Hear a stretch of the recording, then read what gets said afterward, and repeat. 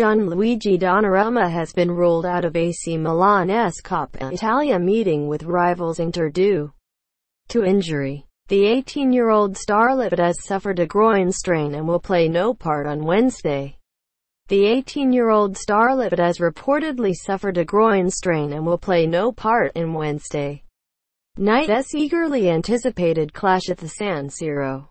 Gianluigi will have to wait for his 100th appearance for the Rossoneri as he continues to sit on 99 with his next chance coming in the trip to Fiorentina on Saturday before a home game with Crotone on January 6. Reports coming from Italy revealed the goalkeeper was ready to quit the Rossoneri and asked his agent to cancel the deal he signed only last summer.